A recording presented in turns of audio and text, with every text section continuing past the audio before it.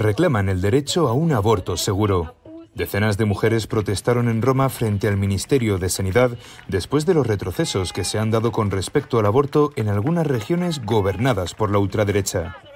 La chispa que inició las protestas fue la decisión del gobierno regional de Umbría de obligar a las mujeres que opten por el aborto farmacológico, recurriendo a una pastilla, a permanecer tres días en el hospital, algo que los grupos feministas consideran innecesario y que atenta contra la privacidad de las mujeres.